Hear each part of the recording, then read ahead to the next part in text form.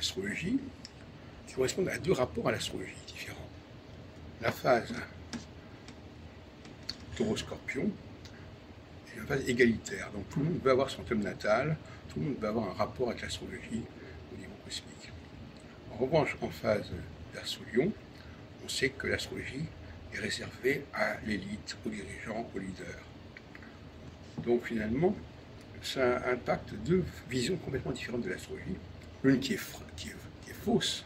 L'astrologie de chaque individu, c'est une pseudo-astrologie, qui est marquée d'ailleurs sur le pseudo moment de la naissance.